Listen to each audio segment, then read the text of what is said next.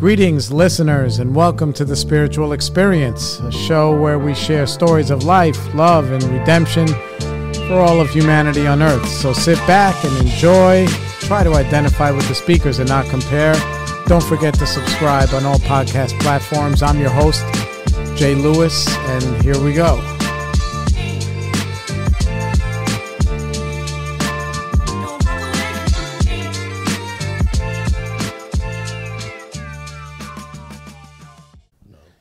Hey, what's up, everybody? Welcome back, Spiritual Experience. I hope you guys are having a wonderful day, a wonderful life. Happy New Year.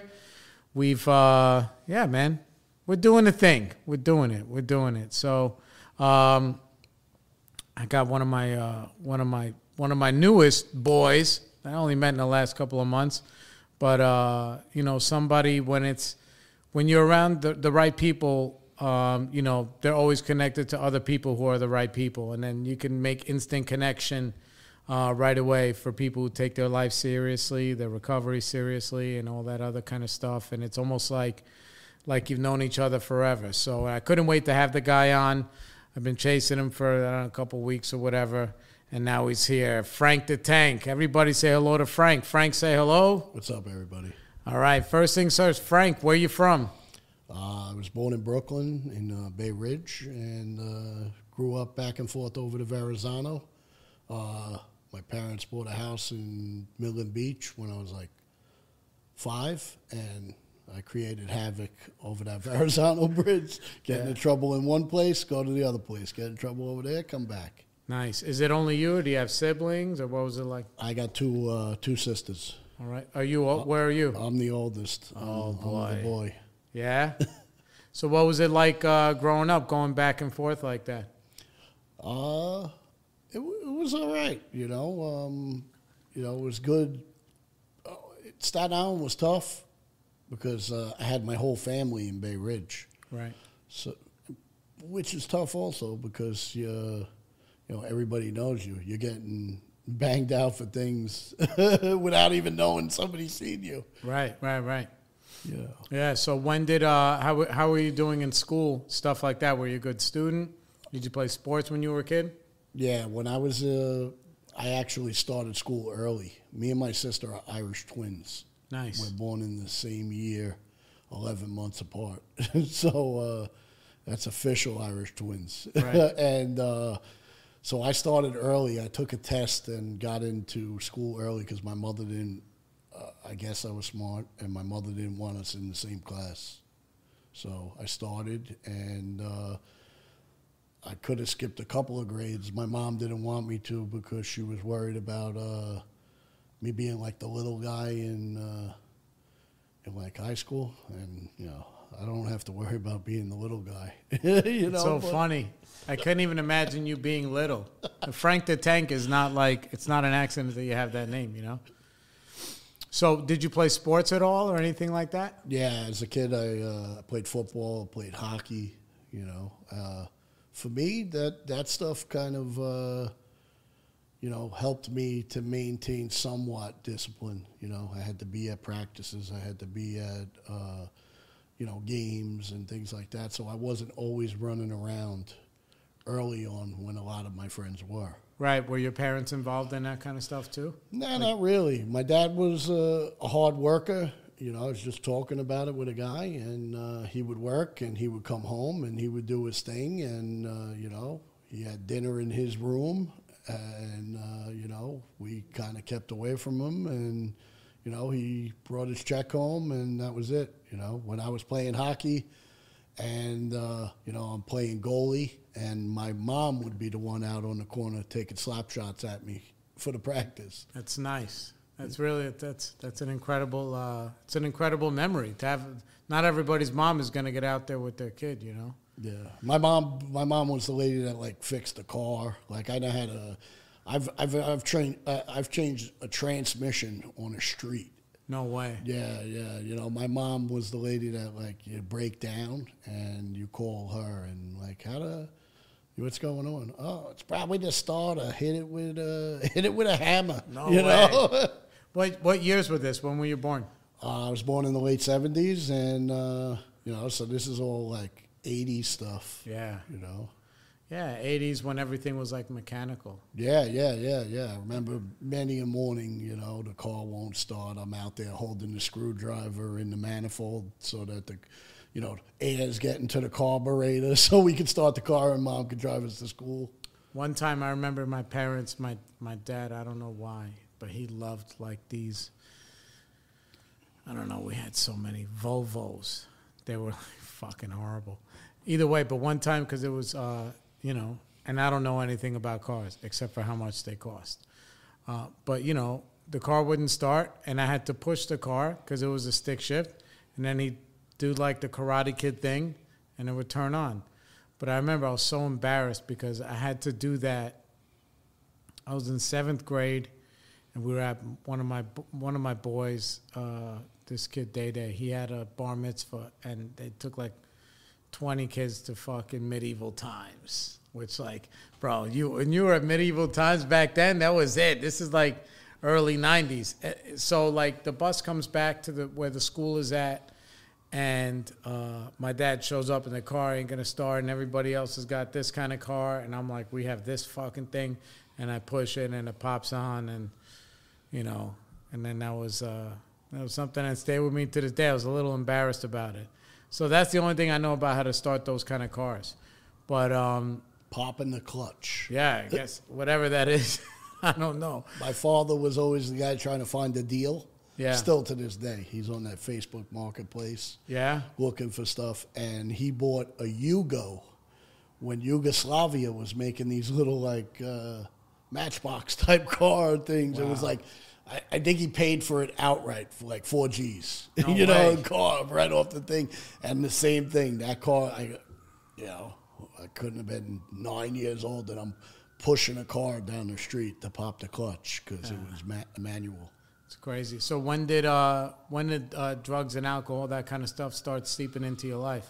Do you, were you did you come from a house where people drank and, and then did whatever? Yeah, it was always going on in in my house. You know, drinking.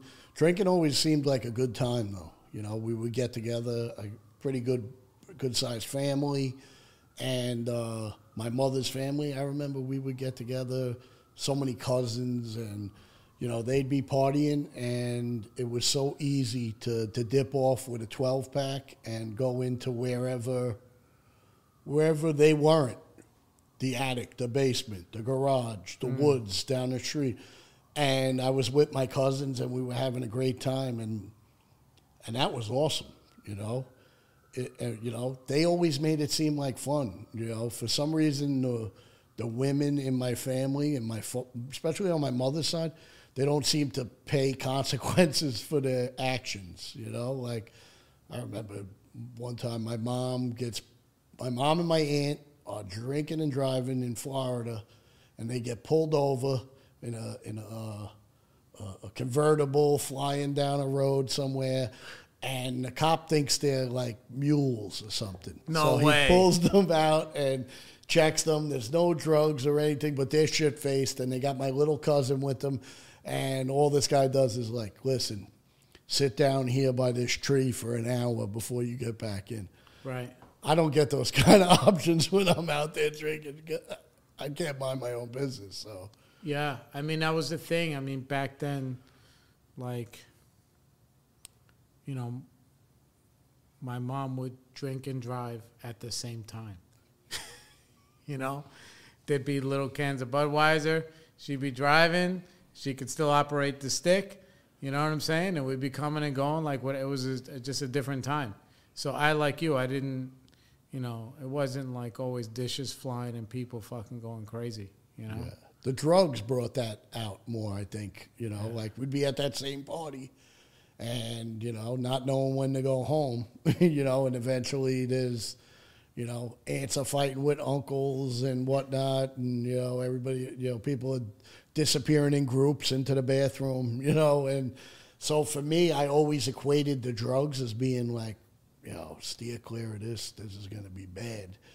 And uh, the drinking just was like good times. Right. So when did you start drinking? Uh, the first time I remember like me drinking for like for me, you know, besides like those parties and because that was going on from when I was a little kid, you know, like we'd had 13 year old cousins and you'd be five and they'd make you drink a beer so Yeah. you couldn't rat anybody out, you know, Yeah, yeah, and and then Make we, you a we- co-conspirator. exactly. We just continued down that route with the little cousins as we got older. Right. And uh, but for me, I think I was like um, like eleven. I had moved back to Staten Island after uh, you know we we were in Brooklyn for a few years. You know, uh, my my dad had gotten sober. He he went away and got sober and uh, we were living with my grandma, and uh, we moved back to Staten Island, and I wanted to like reinvent myself. Like even though I knew these people from the first four years of school, like elementary school, Right. that little break away, being with my family, and like kind of like running around and being something, I wanted to carry that over, and drinking was the way to do it. And a kid asked me. Uh, you know, hey, you want to get 40s after school? And I said, yeah, not even knowing what was what. I Right. just agreed, and and we went down to the local liquor store, maybe like seven blocks from the school, and we asked this dude uh, who we called at the time Mikey the Bum. You know, Mikey, could you get us a couple of 40s? And, you know, he did what probably I did later on in my drinking career. Just did what I had to do to get the next one. Yeah. And even if it was buying a couple eleven year old kids some forties, that's what that's what happened. Yeah, yeah, yeah, yeah. So then, I remember that that kind of stuff too. But also back then, like once you had, I know, once I was in junior high, seventh grade, eighth grade, there were places you can go to just buy whatever you wanted. Yeah, we had a place later on, maybe a couple of years later, we had, you know, fake IDs we had made on 86th Street that said I went to like Buffalo University or some shit. Right. And, you know, as long as you showed the guy something, Yeah, uh, you know, you're walking out of there with whatever you, whatever order you placed. But that that time with Mikey, we, he goes in, he gets us the 40s, and it's, uh, uh, he's like, "What do you want?" We don't even know.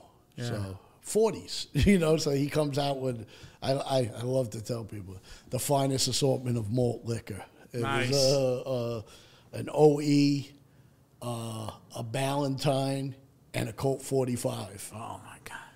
And, and we went and hit him in the woods and waited till it got dark, and went out and got uh, you know started drinking. Yeah. What was it like for you? For me, that that night, I, like I still remember it. I didn't remember it for years, and then now it's like it's a focal point because we went and got those forties, and we went behind the old Protestant church. You know, there was like a courtyard fenced in. Me and this kid, and I tell people now I could I could say it was like a transformational point because I went from feeling inferior to that kid. You know, I just wanted him to be my friend. You know, uh, and we had these forties, and once I went from that that feeling of like inferiority to once we were drinking together, we were on the same playing field. And by the time those 40s were done, I wanted to go on to the third one, and I caught him spilling the foam out from the, you know, the warm beer from the first one, and I'm like, "What are you doing hanging out with this loser?" That's where my brain goes. Uh, I'm better than you already just from drinking. Right away. Yeah. Yeah, and you didn't even did. Were you conscious? That like, okay, my dad got cleaned up, and here I am in the woods drinking beer. Or it didn't even you didn't even make the connection. Nah, I didn't even make the connection because I thought he he got cleaned up from drugs. Right.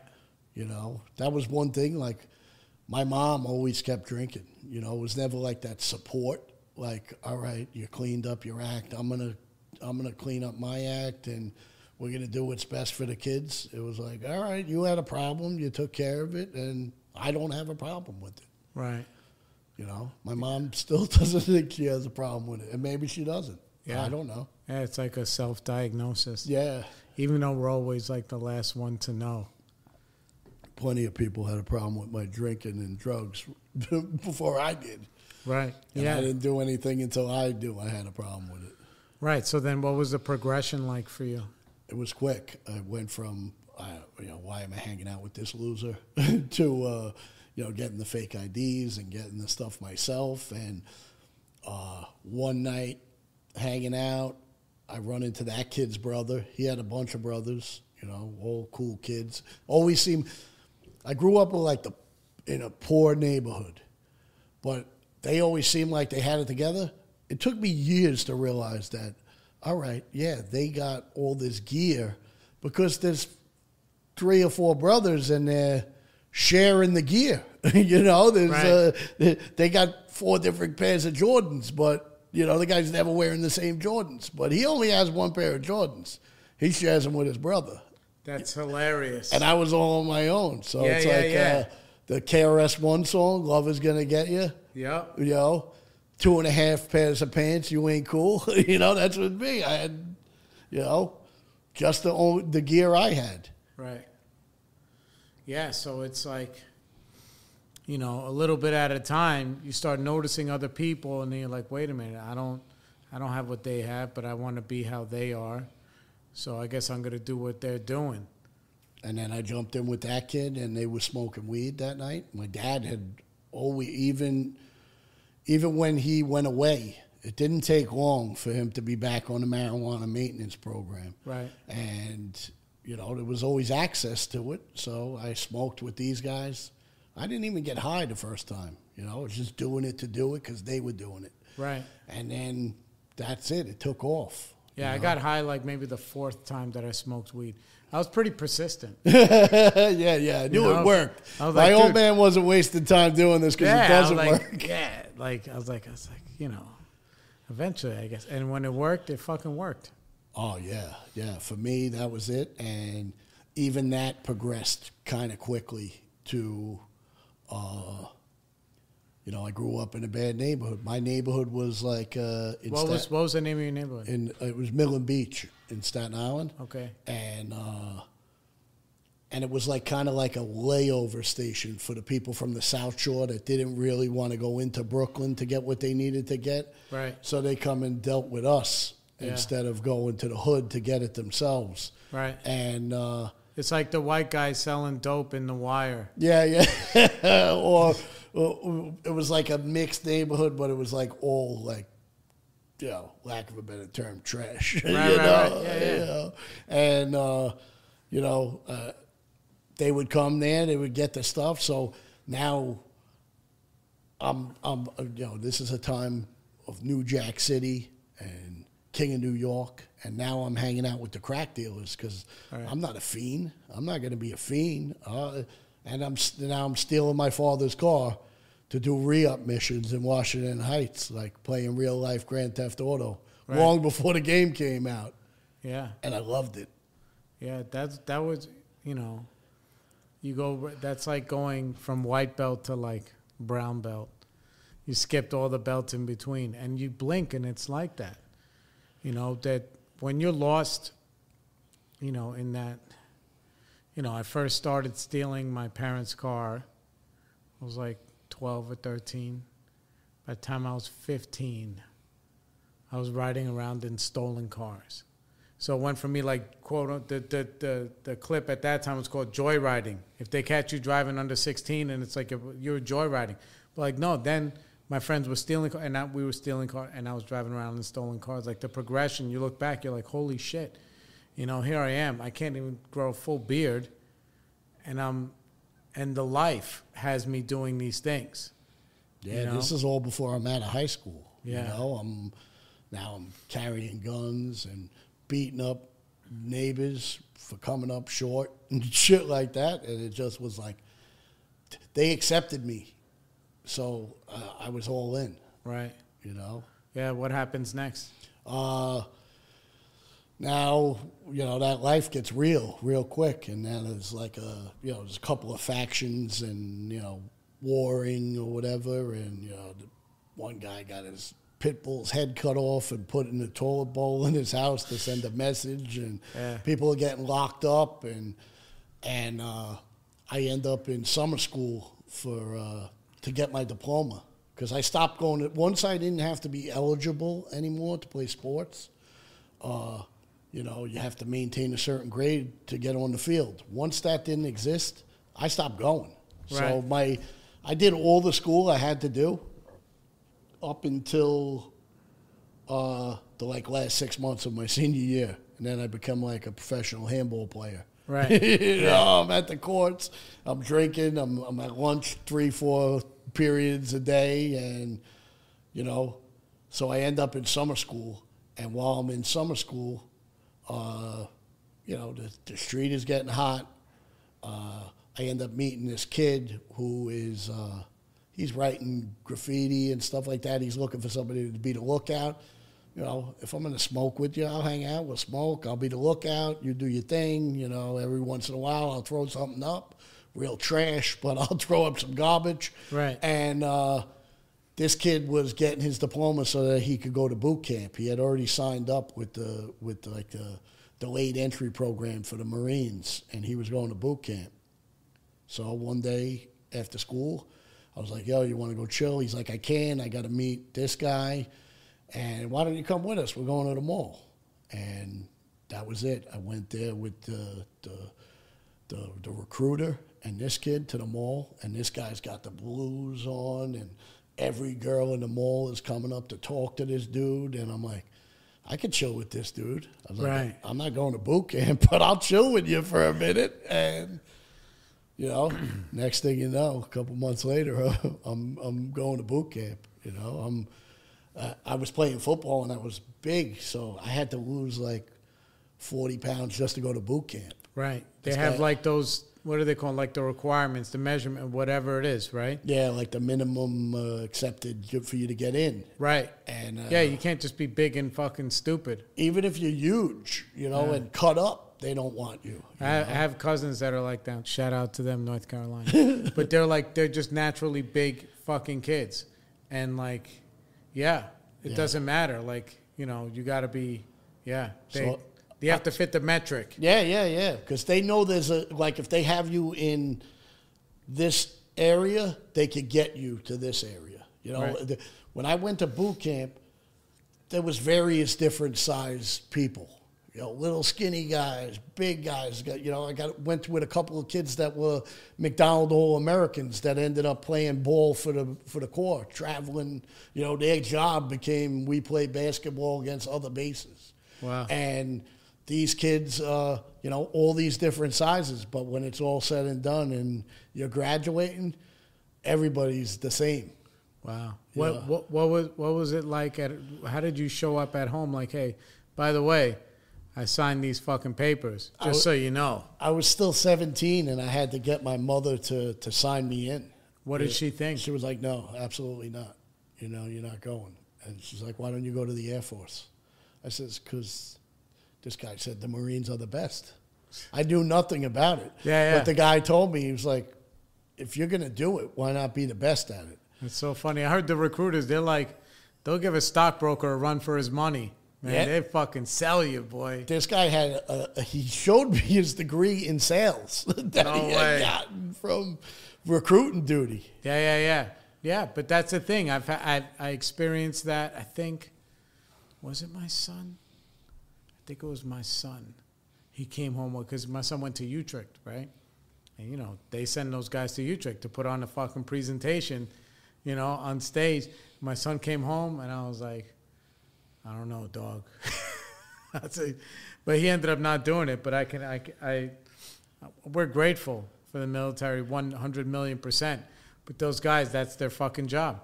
Yeah, yeah. You get a special duty. You get to go somewhere else that you're not in the in the mix because you have the gift for gab and you can Yeah. sell, you know, ice cream to an Eskimo. So your mom signs you in, then what happens next? Um, You're in boot camp. yeah, I'm in boot camp. What was that like for you? Uh, for me, it was awesome. I loved it. It was like uh, what year? What year was this? Late nineties. This is before uh, September Yes, 11th. yes, yeah, yeah, mid '90s. Nice. So uh, yeah, for me it was good. You know, like uh, I remember you lined up and and th- there's like grown men. You know, because you could go anywhere from 17 years old. I think there was one kid younger than me there. He was still 17.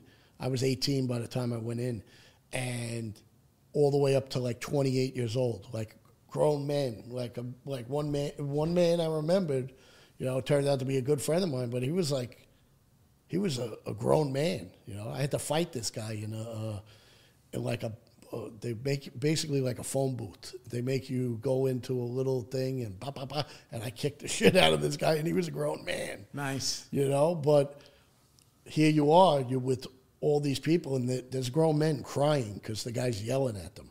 Mm. And for me, in my mind, I was like, my dad yells at me every day. I'm good. I can do this shit. Right. You know, and and luckily for me, the recruiter that I had, he never bullshitted me. He never promised me anything. He said, All I'm going to promise you is a different way of life. And I heard a lot of guys get promised a lot of shit money, jobs that they weren't qualified yeah. for. And, and here I am. He told me that. He said, It's all, it's a script. You know, there's a playbook. Every recruiting class. These guys aren't, you know, one guy's the bad guy, one guy's the good guy, you know. And once I caught on to it, I just started volunteering myself. Like if they would come after you to, uh, you know, would say smoke you up on the quarter deck, you'd go up there and they'd make you do a bunch of, you know, calisthenics until you were ready to puke. I started volunteering myself and going up there. And the guy was like, "What are you doing up here?" I said, "Well, if my brother's up here, I'm up here." And they got a respect for me because I did it every single time. Wow. You know, and it was a great it was a great experience. You know, I I thrived in that environment because right. somebody was telling me what to do every the I was always looking for that.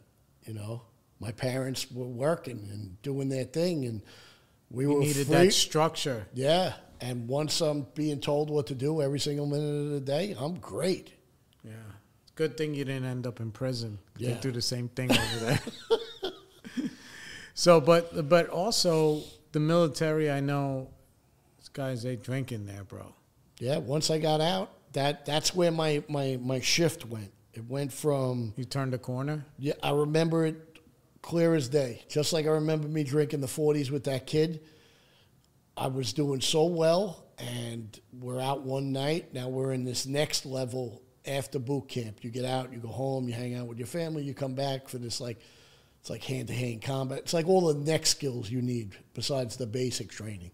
And there's guys I know that are, you know, going on a run of their own free will just because they want to be better and ready for the next test we're going to have. Run, he's talking about physical run, not like on a fucking drug run. No, no, full on like uh, half marathon in the middle of the night is so great. We're going to go run for five miles. Yeah and these other dudes were ordering Domino's and getting 40s. And I just went right over to Domino's and 40s. Mm. Just like that. Yeah. Yeah. So what happened next? You know, before long, uh, you know, um, I'm drinking till it's time to get up and run in the morning. You know, we would go out, drink, and I'd be putting away a couple of 40s a night.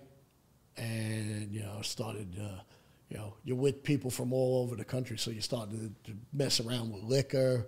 It took me a while before I'm messing with the liquor, but I'm making like, uh, you know, I'm putting fruit punch in in, in the Sainides so that yeah. I can pound it down faster. And, you know, next morning I'm getting up and going on a five mile run and I'm puking as I go. And that was kind of okay because it was like, as long as you don't make them stop. Because if you stop and you're like, keeling over and crying and pitying yourself and vomiting. Everybody else has to run around you in a circle. So they're not getting that. That time's not counting towards their five miles. And, right. And you don't want to make people angry with you because you're making shitty decisions. So I would just cock my head to the side and projectile vomit. And some days I was the guy getting vomited on, and some days I was the guy vomiting on people. Right. But I didn't make everybody else stop, and I kept going. Yeah. That sounds like serious shit. so what comes after all that stuff? Uh, you know, after a while there, now you're on to your real job, and I gra- same as I gravitated to the 40s and the pizza, I start gravitating to people that are scheming on the piss test and things like that. And I didn't want to. I love smoking weed, but I didn't want to smoke weed because that's in you for the longest. You know, I was scared to do coke and other stuff, but pills were, you know, cool. You know, I would hang, started out with like shit you could get in a gas station. You know, like this guy would tell me, "Oh yeah, you know, you eat these and you drink and you, you know," and I would go to the gas station like five miles out of town because they were already sold out all around town, Right. and buy the whole box. You know, and it was like uh, speed and whatnot, like everything the truck drivers loved. Yeah, the NoDoz. yeah, yeah. Oh my God, that stuff. Yeah. So then I started to, you know, I'm not proud of it, but I became what in the Corps we like to call a sick bay commando. And I would go, if you got a certain pill, and I happen to notice in your room you got the one with the droopy eyeball or something like that, I'd be like, how do you get this? And I would go the next day and I'd be sick and I would tell the doctor the same thing you told me you had so that I could get those droopy eyeballs. Uh, uh, do not drink, you know. I remember I would wait. I, I, first thing I would do when I had those bottles would, at the end of the day, I would go get something to, to drink with. You know, if it said do not eat on an empty stomach or whatever, I'd fast all day before I ate that shit. Because in my mind, that was for like, that's like pussies who can't handle it, you know? But Yeah. A, real man who wants to feel the effects of this shit. Of course. You do the exact opposite of what this bottle says. Now, was anybody trying to intervene if they're seeing this kind of shit going on, or they're just like, hey, whatever? Now, because I'm with the people that's just like me, so we're just, Yeah. there's other people doing worse, you know? There was dudes getting busted for acid, things like that. I, I had more than a good share of friends that ended up in the brig. Luckily, I didn't, but, Right. you know, there was guys bringing stuff home from home and all kind of stuff. And I wasn't doing any of that, you know, but I kept doing this stuff. I started, first time I did acid was in the Marines. Yeah. How long? How long did you stay in the Marines? Uh, I was in for like two and a half years and I got hurt. Uh, we were uh, out in California in the desert. and I was doing this prep thing, you know, getting ready to go away. I end up getting hurt. And uh, once you're a broken toy in the toolbox in the toy box, they don't really play with you anymore. And I just got kind of just like slow tracked my way out of there, you know. Yeah. And I How, ended how, up home. what, what, what, how did you get hurt? Like what? I was rappelling from a, it was a simulation to rappel from a helicopter. Right. So you're out on the skid, and uh, we had already learned how to rappel and fast rope and all this stuff. And uh, I was doing this simulation, and I ended up f- sliding down the line, falling, boom, you know, jacked up both my knees, you know, and you know, it sucked, but in my mind at that time, I was like, all right, well, I'll get out of here, and I could go back to doing what I want to do, I guess. Yeah. You know, I didn't see any way to work through or anything like that. It was just like, all right, I guess this is it. Yeah. You tapped out. Yeah, that's all they, you know, they didn't really give you an option. Right. You know, once you're hurt, you know, basically all that could kind of happen to you is you could get hurt further. I know now that you could have powered through. I could have lied. I could have said it didn't hurt and things like that. But I was already in the mix of stuff, and I was like, all right, you know, I guess I fucked this up too. Yeah. How, did that make you feel like on the Uh, inside? It sucked, man, because when I got home, uh, you know, I felt like a failure. You know, I couldn't even do that. I couldn't even get that right.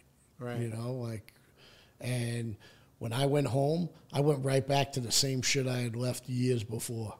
You know, that guy picked me up in a in a van off the street corner with all my friends and took me over to, uh, you know, Fort Hamilton to take the test and and everything like that. And I disappeared. That was it. I was gone. And now, two and a half years later, I come rolling up in a car that I bought because of having, you know, that job. And but I went right back to that same street corner. If there was a chalk outline of me on the wall, I stepped right back into my role. Those people were still there where I left them, Wow. doing the same shit, and I just jumped right back into it. How long did that last? Well, my mom found me like two or three days later arguing with the Chinese food man because I was shit faced. She didn't. I didn't even tell my family I was coming home. My mom found me because I was acting like a drunken asshole up on the up on the corner. Right. She thought I was like uh, called UA, unauthorized absence. You know, some people hear it called AWOL. You know, there I am, fucking home. But um, Hey, Ma. yeah, yeah. You believe this guy? Wow. So what was that like when when uh, when you start getting back into the mix with your family and everybody? Uh, for a while, I just I, mean, I felt sorry for myself, and I just sat around and did nothing. You know, smoked and you know uh, drank and and then uh, and then I uh, you know I got a place with my cousin and a friend of mine, and I started to try to incorporate some of the things that I had learned uh, while I was there and bring it into play on the streets. And, you know, I was doing street shit, you know, but with a new skill set. Yeah. So how, when does the end show up? Well, for for me, even in that in that instance, you know, I'm out one night drunk with my friends, and uh, you know, uh, couple of guys try to rob me, and uh, I end up uh, I end up in a, a, fight with four guys, and I get stabbed to death. You know, and I tell people I can only tell you it's to death because my mom came to an emergency room at like four o'clock in the morning, and the doctor told her that I was, uh, you know, I had had my my radial nerve and artery severed, and it wouldn't cauterize, and I just kept bleeding out, bleeding out, and and uh, and then I'm handcuffed to a bed, and I'm being arraigned at the bedside, and oh God, please get me out of this one, and and I'm out of it, or temporarily, and I go right back to doing what I always did. You know, I didn't even go right home. I lied to get home. I told them somebody was coming to get me, but I really called a cab, and I didn't even have the cab take me home. I had them take me to the corner store, and I got a 12 pack, and I started drinking and doing whatever drugs I had in the house, and feeling bad for myself now because, you know, my arm didn't work anymore. And I only had a, you know, one arm, one hand that, that operated. Right, not even making the connection. Not at all. Not at all. Not. Uh, it took me years to make the connection that I was hurting other people. I didn't think that was hurting my mother by having her come to an ER in the middle of the night? Yeah, a lot of times, like people don't like, you don't realize. It's funny because I was talking with my girl today on an, about an unrelated thing, and she was like, one thing. She, she said it, and not like in a disrespectful way, but she, the way that you and I think now as sober, recovering men is different than a lot of other people. No offense to you, but she was like, she was saying, she's like, one thing has nothing to do with the other I was like, oh no, everything is connected. You know, if I'm ha- if I'm living this kind of life, having these kind of thoughts that make me make these kind of choices, two years down the road, you go from doing all the push-ups with your boys on the fucking thing, where you're the stand-up guy, to being knifed on the fucking corner. To you know, yeah, I, it's I, all connected. Like I, I never got arrested before. I used to be the one that always got away with shit, and right. I didn't get arrested till I got home.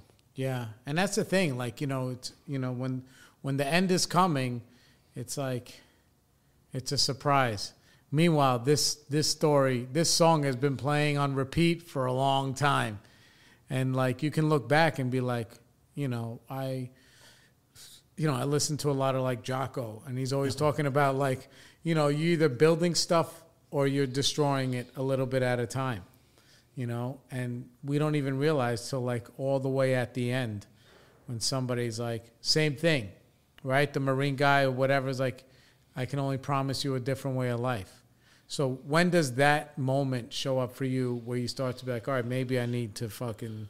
Well, I, I, I did this little run around, you know, I, I recovered from that, you know, I, I, I used like my will, I guess, or whatever. I, I started doing everything with the left hand until the left hand worked again. Nine months later, it starts working again. They told me it would never work again. Right. And I do this, and but I'm still drinking heavily, and and all of that drugs, and uh, you know, I would try and stop, but I couldn't.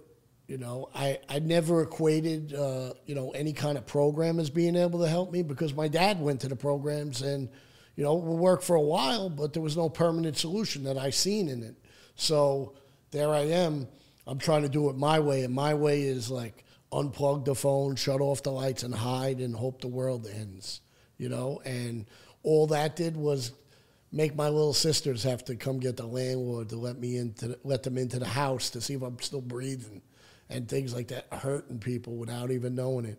And for me, the last straw was really um, uh, my dad had ended up back in the program again. Me and him were partying hard together. You know, he's like bouncing at a bar. He, you know, he moved to Pennsylvania. It's like it's like Roadhouse. You know, they have like the the bouncer meeting before, like how how they gonna officially uh, efficiently kick people's asses and send them on their way and stuff. It's so funny because like I know so many people that that's like the route. It's like they go Brooklyn, Staten Island, and then PA. Oh, I'm out in PA now. You know, I'm East Stroudsburg. he's in some mining town and he thinks he's uh, Patrick Swayze. That's perfect. And uh, you know, he goes off the deep end and you know, I'm trying to help, but I'm getting messed up myself at the time, so I can't really help too much. Right. And uh, you know, we get him. He's in a jackpot again, and we we end up getting him out of there. Me and my sister. I had to I had to bear hug him and jump into my car and have my little sister just step on the gas and like go. And she's like, "What if he jumps out?" Fuck him if he jumps out, you know. And we drove him out of there, and uh, crazy as there's no coincidence. Like you were just saying, like we the decisions you make, it's all connected. But sometimes I don't see the connection right away. But I could look back and uh, maybe a year from now and see the connection.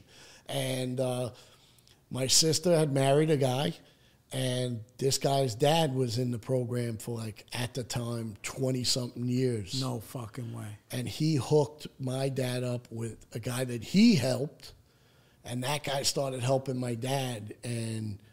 I seen my dad change. You know, from that night, I'm holding him, and he looked me right in the, you know, drunk and high, looked me right in my face and said, "Why don't you just let me die?" And you know, I felt like I was stabbed all over again when he said that to me. It was just like it hurt so bad. Yeah, people think like that kind of cinematic stuff is like, bro, that's it's not the same in real life. No, it It fucking sucks. and and now I see him starting to get better.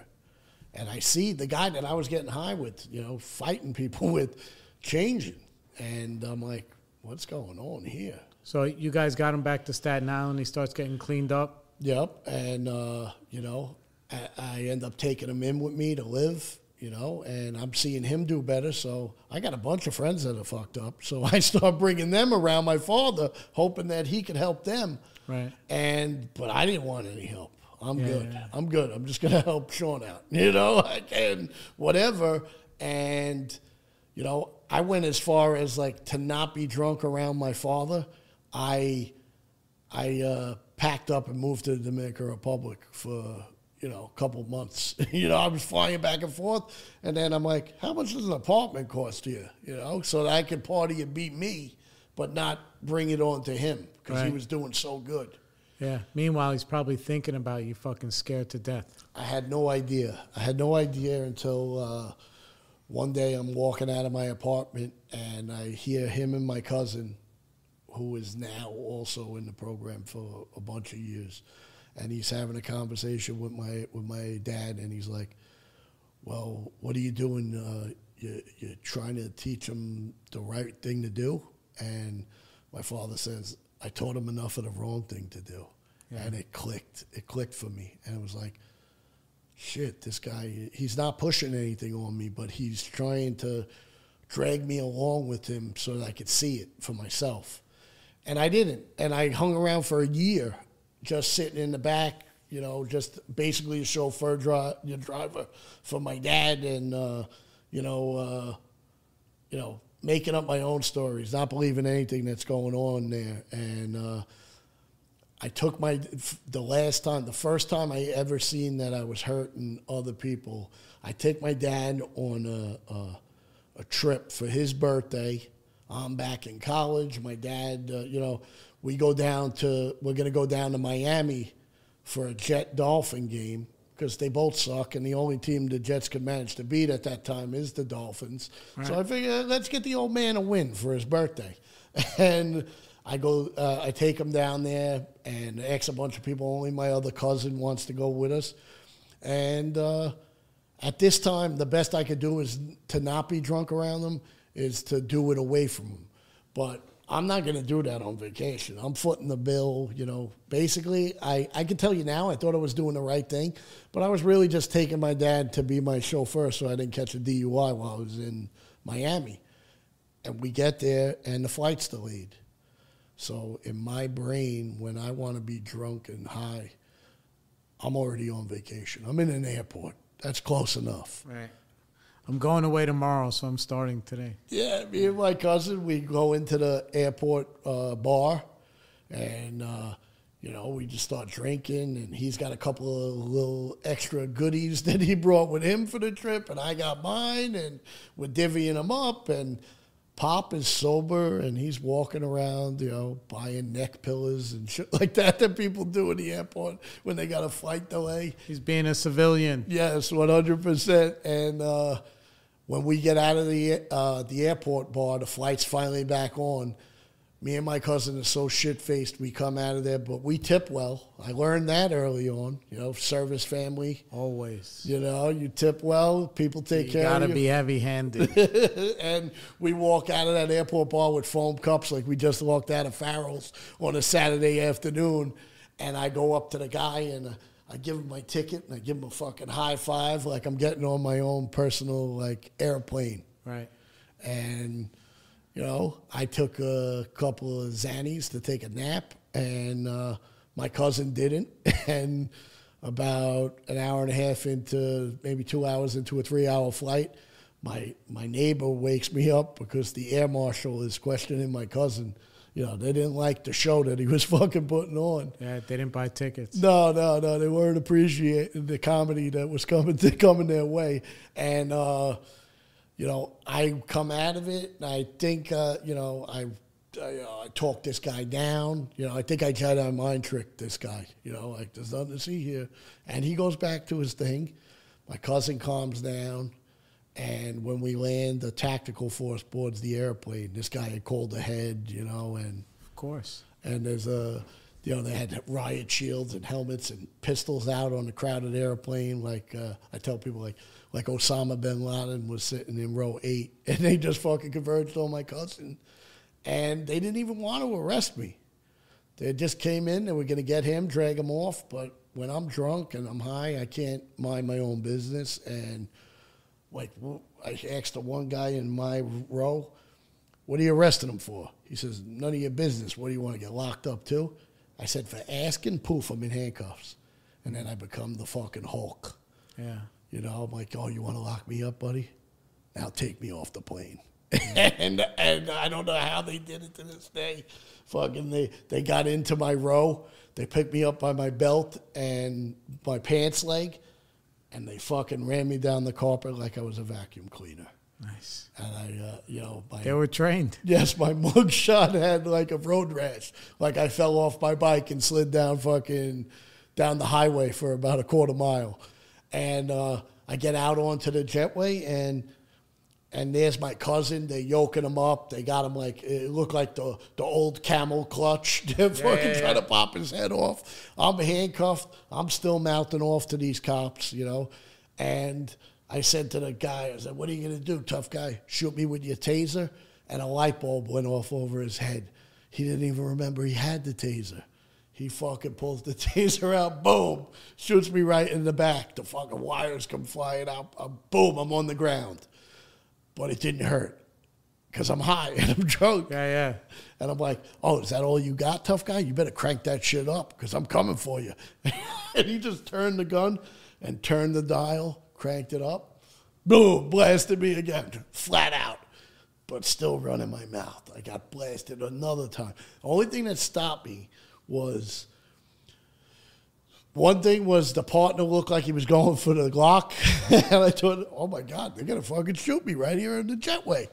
And the other thing was I looked up the ramp, a brief thing, and it was almost like fucking a spotlight from heaven shined down on this. here's my father. He's trying to record it on his like Motorola flip phone to oh, gather right. evidence for a police brutality case, and they're fucking locking him up too. And here's my father trying to be sober, trying to be a citizen, and he's getting fucking locked up because I'm a fuck up. And that was that was what that was it for me. That was like. You're hurting other people, bro. You're not just having the good time and everybody's trying to fucking ruin your good time Yeah, that was the moment when it all clicks. that's what I needed. And it wasn't that simple, but I started going back with my father and paying a lot more attention to what was going on. And, you know, a little assistance from, you know, my federal probation officer and things like that, you know, being a little scared. Did you have to get? Uh, were you? Do you have to get sheets signed? Uh, I didn't have to get a sheet signed, but I did. Rem- I, I was the the lady did a good job of checking up on me. I tried staying ahead of the game. Like, let's not get mandated. I'll tell the lady I already go. Yeah, yeah, yeah. And uh, you know, I'm carrying around literature like like it's uh, you know fucking crucifix. I'm fighting off uh, Dracula. And I don't need to go there. Look, look, you know, and never opening it once to see what's in there and uh, I uh, I end up going in there, and I sat in on a meeting one night, and some guy says, hey, you know, why don't you help out? And I was like, in my brain, I'm like, fuck you, help out. you know, like I'm here. That's all the help you're getting. I'm driving this asshole home later, you know? But when he did, I said yes, and I just did it.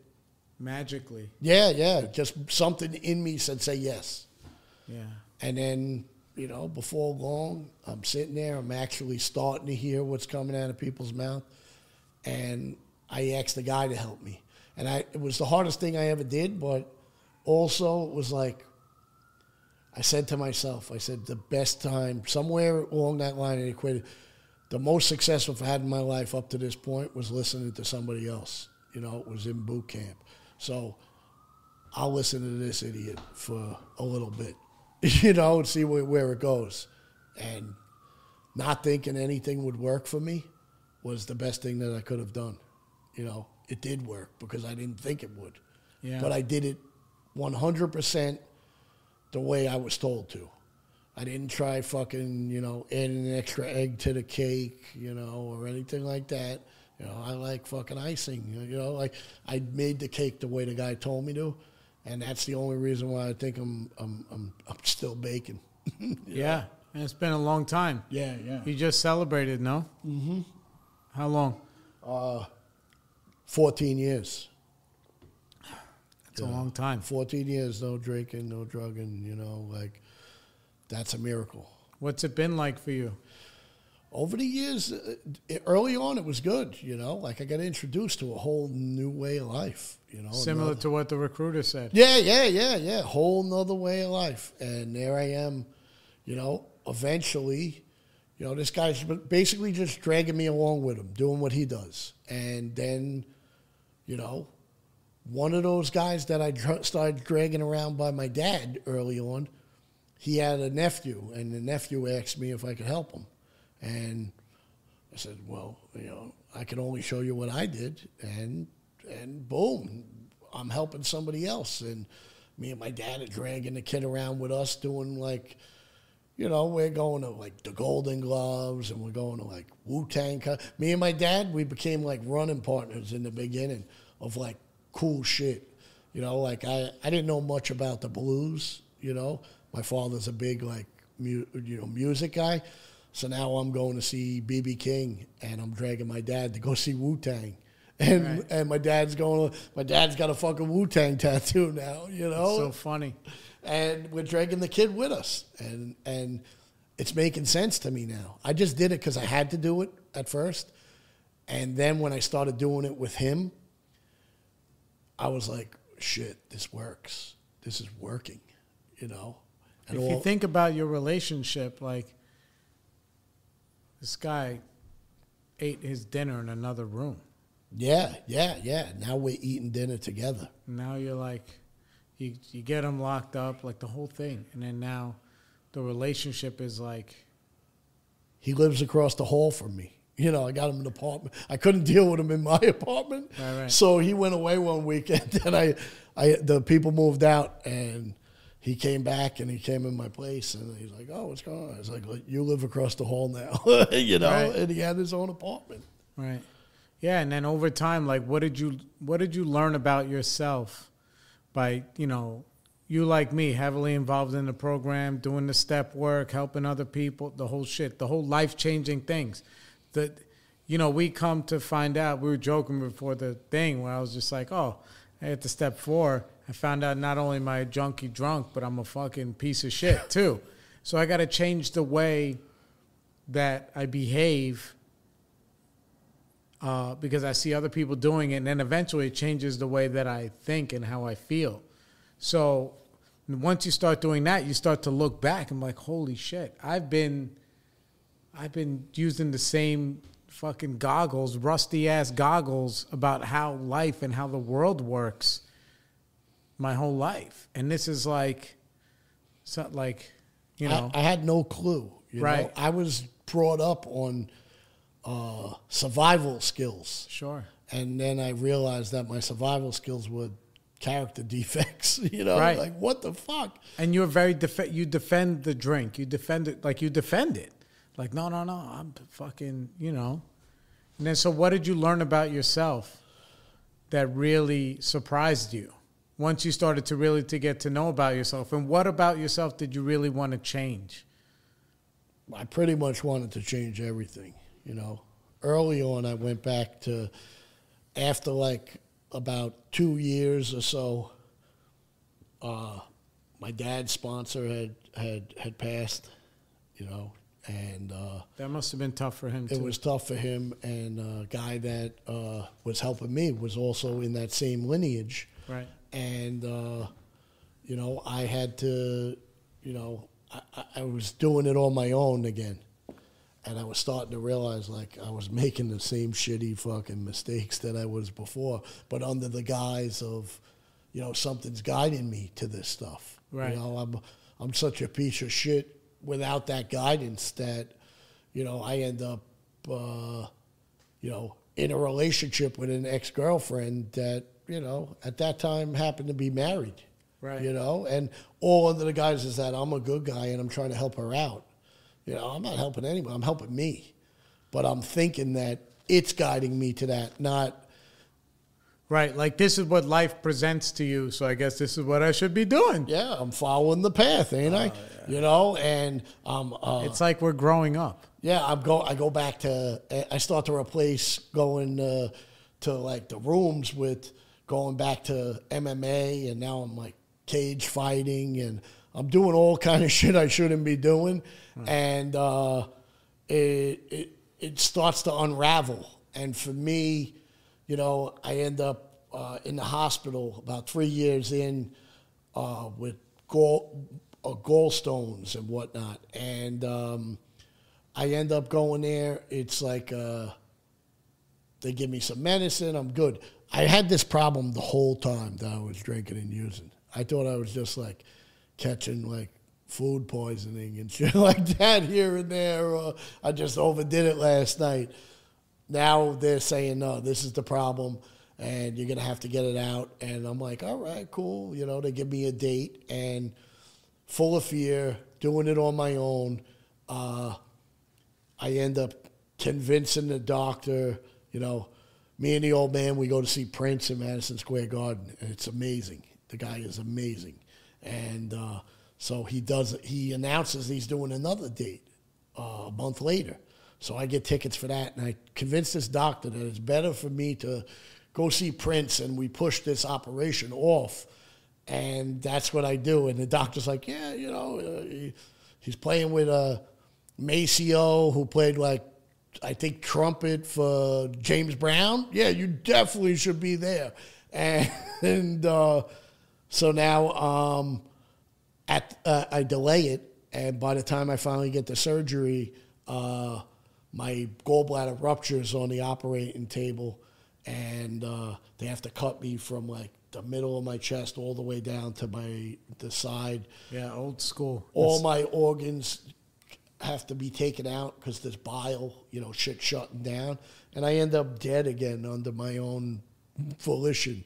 You know, supposedly living a new life by a program, but uh, I wake up hours later and you know now I'm intubated, you know, and all. But but in that time I come to, and unlike the other time, I'm like, shit, things didn't go the way they were supposed to. But at the same instance, I'm like, shit, I guess I'm supposed to be here for a reason. And uh, I didn't, I didn't even want to know what the reason was. I just knew that there was a reason I'm still alive and I'm not dead because my own shit is what's getting me to be, you know, I'm dying under my own uh, Right, right. under my own actions. So I come back in full force and start doing all that shit I was told to do. Uh, one of the guys that come up and visited me was a guy that I respect that started helping me, and he still helps me to this day. You know, and that's all I do. I do this stuff, you know, that I've been taught to do, and I've been able to help other people. You know, I've been able to help myself. I've been able to be there for my family. You know, uh, I took my mom on a cruise for like her 60th birthday. And the scariest thing about it leading up to the thing that I would share was not that I was worried about drinking, but that I was going to be a piece of shit son to my mom. Yeah. Because that's, that's what I do. I, I take my frustrations out on the people closest to me Yeah.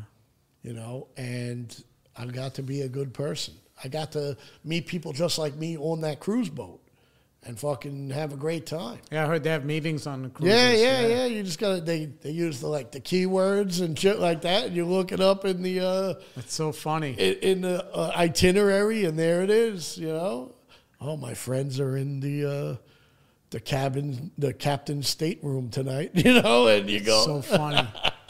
I was telling you, like, um, because I, I talk a lot about my my one of my sponsors, Free Willy. He's he's only not my sponsor now because he moved away. Um, but I mean, I love him. He's still he's like consigliere, right? So like he like loves going on cruises, and he went on this cruise, and we were joking like, yeah, maybe you should go to uh go to a meeting on a cruise. Like, yeah, I'll find one. It was like his first cruise that he went on. I remember it was like so long ago, and um, he finds the meeting, and on that cruise we're like 25 people from like Bronx County AA on this fucking cruise to Mexico. So he met all these people who do service below the group level in the Bronx at the, and then like he got plugged in there. He's like, it was unreal.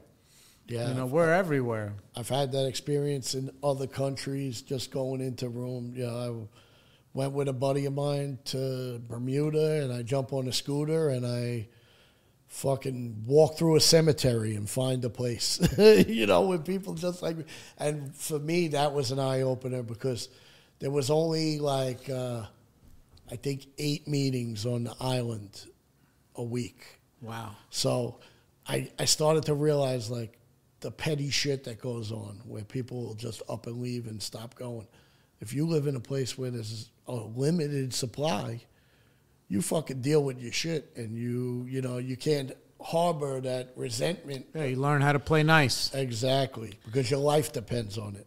Right, and the thing is, it's not like you know, it's, it's like you know the the thing about alcoholism and addiction, whether it could be food, it could be anything. You know, it's all in the same thing. It's like our inability to deal with life, and people, you know, like people are like, oh, because you drink a lot? It's like no, it's just it's like an I'm an alcoholic and an addict because I now is different, but my natural state is uh, irritation. That's my nat. If you leave me alone and I don't do any, um, any interaction with other sober people, and I don't live the life that I live, eventually I'll be irritated all the time. Everything irritates me because I cannot stand life sober. Like I can't. It's unbearable to me. So that's why I drank and did drugs and did all the woman, womanizing everything, all the stuff that I've done. But like it takes time to like rebuild your life away from that stuff and you get so much more out of this other life you know that it's it, one of the things that troubles me is um, you know people we use this term don't quit before the miracle happens and like it's it's so debilitating because sobriety is whatever, but recovery, like having a good life, it requires legitimacy. It requires Frank to be as honest as Frank can be with every person in his path. It doesn't mean that you're fucking Johnny Appleseed, whatever, but you're doing the best that you can. And the more that you live life like that and make those kinds of choices, eventually life is really fucking good. But like, there, the more you start putting these little post-its on there, little by the way, or I'm to cut this corner and I'm to do this, I'm to do that. It all it shows up on the operating table with the bile. You know, at at, at the fucking I had my gallbladder taken out and they did it through the belly button. I got those scars because it was supposed to go down Yeah, like yeah. that. And the guy was like this, and I was young. I mean, I got sober I was 24, so I was about 30, maybe a little bit less than 30. And I was having these gallstone attacks. And then when they come, whoever has them, you know, they fucking come, right? So I, I drove myself to the hospital, and they were like, oh, we have to take it out. And they're like, you're a little bit young to be having this. And I was like, well, what does, what does a gallbladder do? They're like, oh, it produces bile that goes into your stomach, helps you digest food. And I was like, yeah. I said, well, you know, I'm an addict, and uh, I was throwing up bile every day for two years for breakfast. So he's like, well, I guess that's how you did it, you know. And then they took it out, and it was funny because like even when I went for the follow ups, like they this was like before now they do all these like lap band surgeries for people to lose weight. But people do that. They get their gallbladder taken out because you, you have to eat less. You can't eat a lot at one time. So I, I was in the, I was in the, the waiting room for the follow up with like all these big fat ladies who were like what the hell is this skinny guy doing? I was like it's like I'm a junkie. And I, I fucked my shit up and they were like laughing and you know but it's a whole new life you know? What's it like with your dad today? Uh, it's, it's pretty good. Uh, like, you know, uh, it's crazy because at at one point, you know, my father didn't have that guy to guide him anymore. Never got another guy. Got a bunch of friends that kind of like basically just co-signed his shit, and but never had that serious like I'm gonna be honest with this guy about every little thing that bothers me. So the success went out the window, and eventually, you know, he's worked he's been injured. You know, he has everything wrong with him. You know, I was telling a guy the other day, my father's like fucking Evel Knievel. He's got so many broken this, that, and he's so for a while he was just like getting the scripts but not eating them. And then Right. he slowly started taking his own prescribed meds and he ended up back out there. And like my, my cousin says all the time, the, the drug of no choice will lead you back to your drug of choice every time. And he ended up shit faced, you know, pissing himself, you know, making, you know, uh, his own uh, like Jaeger bombs, but in his mouth rather than in a cup. So there's Red Bulls and Jägermeister bottles all over. And, uh, you know, I was worried and I asked the guy that's helping me, and I'm like, what do I do? And he's like, you just keep doing what you're doing and you be there for him when he wants your help. yeah when he's ready And try to explain that to people that my sisters that aren't like us. And they're like, you got to help him. And I'm like, I can't. You, you know, what, what we need to do is not be there when he wakes up this next time after his run in the hospital. And eventually they caught on and they left him. And he woke up and there was only a doctor there. And the doctor suggested detox. And he went. And I, uh, I, I called, uh, you know, the guy at our union that helps us and got him into a, another facility. And he went away again. And about three weeks in, the guy goes and visits him, and he's he's running the show there, and everything's Right. great. And the guy's like, eh, "I think you might maybe I could get you cleared for like another week or two. Nah, I'm good. I'm coming home. Like 10 days later, he's, five days later, he's back in the hospital. 10 days later, he's back in detox. Yeah. And he asked me to help him, and I drove him, and I took him there, and I took him to, uh, he went to another rehab, and uh, then we suggested he go to a sober house, and he went, and I went every weekend and drove him to Stop and Shop so he could replenish the fridge and fucking the dollar store, and and supported him in that way. But for him, he came back home. He completed an, an outpatient program. I suggested maybe just to keep yourself busy, go to an outpatient here too. Yeah, we know you completed, so he did that. But slowly he pulled away. He never went back to the groups. He he didn't have that in him to to tell those people he failed.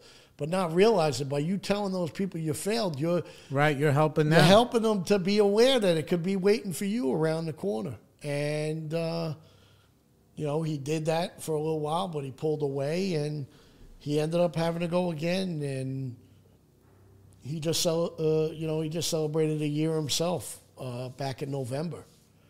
And I got to be there for him the same way that he was there for me. And now he lives in my house. Him and my uncle live in my house you know. And I only have that house because, you know, a bad run in the family a couple of years ago. You know, my uncle, who I love, uh, he uh, he married a woman that was just like us. Even my uncle's like us, but but he found relief through through going to the church, and Sure. things like that, which is great. You know, he'd been through the program. He knew the the the ins and outs of it. He knew where to, you know, don't hang out in the barber shop if you don't want a haircut. Yeah, like people, that. places, and things. and he did all of that. He found a new group of people, and but his wife was trying to stop, and she tried quitting benzos and alcohol cold turkey. Fuck. And at 50, could die. 52 years old, she had a, a seizure in her sleep and died laying Yeah. next to him. And less than a year later, uh, my aunt died of a cirrhotic liver because, uh, not not because of this, but because of uh, she was an epileptic, Right. And she took you know The pills her medications, whole yeah, yeah. life, Yeah. and uh, she passed away, and he ended up uh, taking care of her kids. He was like the guy. So now here he is. He's taking care of his wife's mother because he made an honorable man. Honorable. The I would love to have the the honor that this man carried himself with, and he. Uh, he told his wife that he wouldn't allow her mother to end up in a, a, a nursing home. Right. So he changed this lady's diapers. You know, he, he he did everything. He took care of my aunt's kids. They're living with him now. And then the lady passes away, and her other kids and everything. They, you know, the house was on one of them reverse mortgages, and it was costing money. And she ended up. Uh, they ended up selling the house, and he's ready to move into a, an apartment with my two cousins, you know, and the amount of money you got to come up with for like a fucking three bedroom apartment in Bay Ridge, and uh, he's kind of like down, and it's not a guy that you really see like show emotion, you know. He's not that guy, and I go into his house one night, and he's talking about well.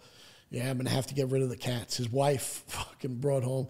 She she adopted two cats by going and helping a friend one time at one of those adoptions, and then like two three years later, she adopted three more. Yeah, it's all it takes. Yeah, so now he's got five cats, and he's got to give the cats away, you know, and that's his connection to his wife. And their dog that they shared, that she also brought home, already just passed. And I see all the hurt on him, and I tell him, well, let me find out about this uh, this VA mortgage, and maybe we can get a house. Not meaning that I really wanted to do that. I just knew it was the right gesture. But to be an honorable man like he was, I had to step up and do it. And I got a house and brought them to live with me. And we're playing like a, a fucking crazy version of uh, Full House. me and this guy, so trying to raise like two teenagers. And uh, oh, like a year and a half ago, maybe maybe two years ago now, he comes home. He tells me, oh, uh, the doctor found something, and uh, I got cancer, but it's not a bad kind of cancer, and uh, just got to do this chemo, and and he does it, and he works every day, and while he's doing it, and eventually, uh, it gets to the point where he has to do the surgery, and uh, and he ends up uh, it doesn't go good. You know, he almost loses his leg. I, you know, the doctor calls me and asks me if it's okay to take his leg. I'm like, what? Well, you're the prox, you know, like yeah. shit I'm not prepared for. But I call other people that I know from this program, and they they they help me through their own real experiences. You know, luckily the guy that helps me, he's a nurse in an oncology department, and he's able to coach me through that too. And comes time, he's ready to come home on hospice, and uh, he's able to come home to the house that we provided, you know, and you know, and I'm able through the help of all the people that I met get real life advice. The guy that helped me, I never, I heard him talk in front of a, a room one time, and I didn't really know him well, but he described the exact thing I was about to go through, and I sought the guy out. And the guy coached me through everything I was about to experience. And I got to do that with the honor that this man had. You know, I got to change colostomy bags and hold piss bottles and change wounds and shit that I'm not equipped for. Dignity. Yeah, yeah. To provide this man with a, a, a, a good end, as best as that end could be. And he took it better than all of us. And, uh, you know, to be able to be there you know, at that last moment yeah. was it. And then to prepare to serve all shit that, that me drunk and high is run. incapable. Oh, yeah. run from that. I'm in the I'm in, I'm crying about how sad it is at the bar at the drinking bar, with assholes. There, yeah. You know, I'm not even helping. Right. But the people got me through it. The people that I and for me, that's the prize. You know, if nothing else ever comes from this, that was what it was all for. That that could be the only reason I woke up from that surgery. And if that's it, I'm fucking totally good with it. Yeah. Yeah. It's all it's all uh it's all connected. You know, I think you know, and then we'll we'll wrap it up, but it was like you know, when you really find you know, when you really find God and you're like, his my job is to allow him to prepare me to be there for other people. Not to control them. Like when people like, oh, with your dad, and you were like, my job is to be there with, and love him when he's ready. That's not my job. Is not to fucking make him get sober or any like same thing. Like with this gentleman, even with my kids, those other stuff. My job is like, you know, listen, and I'm, you know, I'm forceful in ways where I'm like trying to share my experience with them. I'm like, you know, I've, I'm, I've just been around the sun more times than them. I'm not smarter than them, you know. I just have more experience. Like, hey, dog, if you start cutting school in ninth grade and smoking weed by the fucking pier you know what I mean? It's to be this. I just know because I've been there. So like, but then to to have that change of from going to wanting to control everything and to letting other people help you just be there. That's like the whole. That's why we're here. That's it. You might get a a house or a car or a girl or whatever you the when I heard people say life beyond your wildest dreams, my wildest dreams when I came in here was to be sitting on the back of a yacht with Puff Daddy and Biggie Smalls and yeah. girls dancing around and we're smoking blunts and whatnot. You know, now I know what they meant because I wasn't even capable of dreaming those dreams. Yeah, and it's almost like it's almost like like all of those like tenants that they speak about in the Marines, right? but it didn't work out for you there. But then it worked out for you here, where you're like a fucking, you're just a stand up human being, you know, and you you you took the fucking long way around. you took the fucking you took the local. Yeah. But you got to, you know to be there for somebody like that is like, you know, to even have that opportunity is like it's got to be it's got to be very rewarding. like you said, even with you, with your, uh, with your kids and stuff. That I got nieces and nephews, and they're kids, and they do the thing that kids do, and and I just tell them like, don't overdo it. Yeah. You know, like uh, like they say, no, the, you can't go back to being a cucumber. Don't Right. cross the imaginary line. I have no idea where I crossed it, but I 100% crossed it. Yeah. And I'm I'm stuck here. Don't get stuck here. Yeah. Because we got chairs that you can sit in. you Yeah, know? yeah, yeah. And but 100%. you know, and you know, I remember taking those kids, you know, two of my nieces on a cruise, you know, and going to those rooms, and they're like, "You still have to do that?" I says, "I do that because this is what enables me to take you guys here now. Your mother wouldn't even let it. me watch you, Right. you know, now she let me take you guys to another country, you Yeah. know, and that's why I do it. You And know? plus, now you want to. Yeah, oh, 100%. Ah, it's- 100%. You know, like, and I'm still a, a maniac, you know. Uh, we're jumping in the ocean at, you Every know, Sunday. crazy degrees uh, every Sunday. Yo, I send my cousins pictures like when I do it, and they're like, they don't. One of them didn't believe it was me. They're like, "There's no way you're in that water." I'm like, "Yeah," and I'm like, and I'm like a little baby because I'm teachable. I'm like, "No, no, I'm like a, I'm a polar bear cub. I'm not a bear yet." I'm like, I'm being sponsored into the polar bears. I'm a cub, and like, you know, it's nice to be like that. I can, um, I can be a white belt in there. You know, that's my whole life where people can be like, oh, well, you have this business, you have these things, and you have, you know, this amount of sobriety, and there's other people in there who are in that thing, who are in our program, and they're like, yeah, they may look at me like I'm a big deal inside the room, but here, like, bro, no, you're helping me. I don't know what fucking neoprene to buy, like, whatever, like, you know? That's just another tool. That doing that, jumping in the water, it's just another tool for me that that gets me through this because if I'm going through, I I I need sometimes I need to create the struggle, No, but I I- need to I know the experience. Because I found you only find out, you know, the only way to find out what you're made of is to test yourself. Yeah, And I'm not doing it alone. I'm doing it. I knew when I was going out there, I was like, dude, you know, Amber and everybody else, they're not going to let me drown. And there's lifeguards there. And that's it. How many people ask you why do you do it? Oh, my God. Why do you got to do it twelve times? yeah, yeah. Because I just say, look, I, you know, I love it. Yeah. It's, it's nothing better, nothing better. It's hundred percent, and and like you said, with the people that uh, you know that that, that walk away before the miracle. Yeah. Sometimes those people don't even realize they're already experiencing the miracle. yeah. They they walk away. There's people I've helped that that have gotten the, the cash and prizes Yeah. and walked away from it. You know, the, the because they didn't they didn't see it. Other people saw it, but we're the last ones to know. Just like I'm the last one to know that I'm a fucking drunken drug addict. You know, and I'll do something about it. Awesome. All right. Well, look, we're going to wrap up. Frank, thanks again. Um, you guys, you know where to find us on uh, Spotify, Apple, The Spiritual Experience. It says with Jay Lewis, even though you guys know who I am.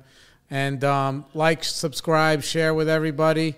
We'll see you on the next time. Peace. Thank you. We want to thank you all for joining us today.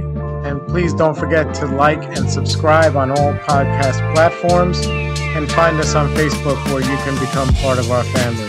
We'll see you around.